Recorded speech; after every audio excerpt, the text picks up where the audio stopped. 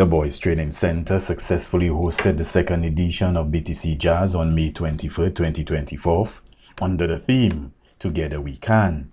The event held at the center's ground served as a fundraiser and an opportunity to highlight the talents and skills of juvenile wards undergoing effective rehabilitation at the BTC. Jean McFarlane, BTC Counselor and 2023-2024 Events Coordinator, emphasized the importance of the music event at the BTC.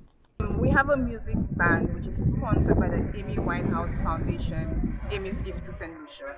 And they provide us with a tutor for the um, music program as well as instruments.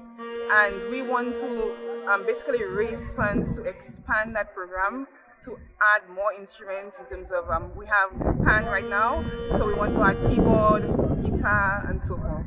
And so it's basically a fundraising instrument, but it's also a social event for the wards and staff of the Boys Training Center.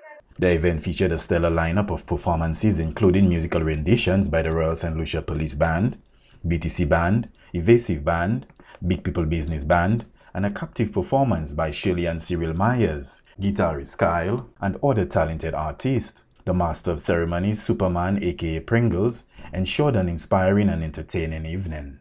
Newly appointed acting manager of the Boys Training Center, Liana Wallace, spoke about the broader impact of the event on the rehabilitation process. I think music is a very important avenue for young people to express that we have. I continue with this program because this is a venture for the community at large, at large in the world, to know that Center is an avenue for boys to become better. The funds raised will directly support the expansion of the musical program, enabling the acquisition of additional instruments and resources.